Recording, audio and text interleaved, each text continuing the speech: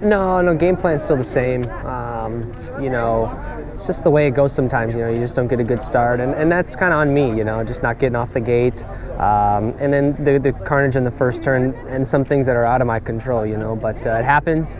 Just try to make the best of it in the situation, but uh, definitely try to get off some better starts, uh, put ourselves in a better position right off the bat, and then just just put down some good laps, really, and have fun. And um, but no, the game plan is still the same uh, each and every race, and, and just making sure we um, try to get maximum points and and more importantly, just just uh, give it our best on the night.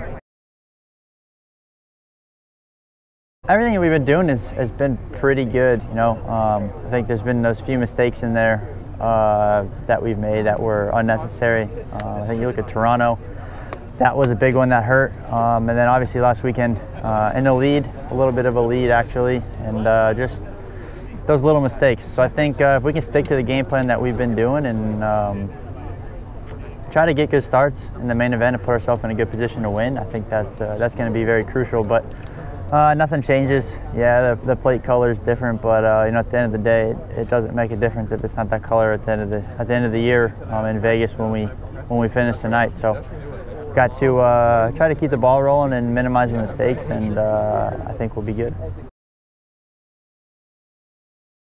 Uh, it's it's cool, but honestly, like race mode, like it's no different than any other stadium, and, and that's no different than being at the practice track for me. You know, it just focusing on the track, and everything else is just just out there. So.